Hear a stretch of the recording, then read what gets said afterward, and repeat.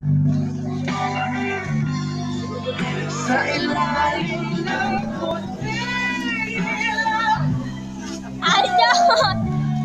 Madilaw Kinakabahan.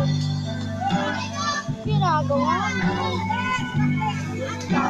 Ingit mo.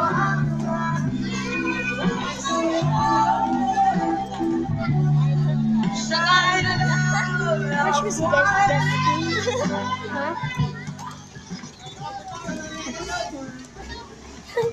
Nasaan tama mo dyan? Ba't wala kang nakit ang tama mo, pre? Ano ginagawa mo? Ano binablog mo? Ha? Ang bigat mo. Ang bigat.